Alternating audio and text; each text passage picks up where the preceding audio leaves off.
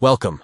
Updating your Telegram app is essential to enjoy new features, enhanced security, and a smoother experience. In today's video, we will guide you through the simple process of updating Telegram on your Android device.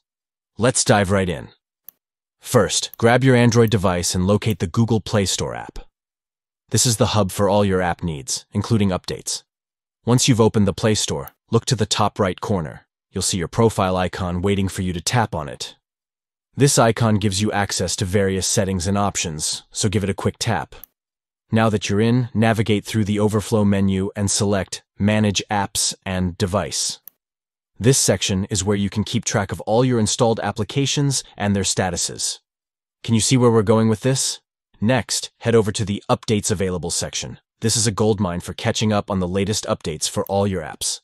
Take a moment to look through the list and see if Telegram is included. It should be right there waiting for you. If you spot Telegram on the list, congratulations.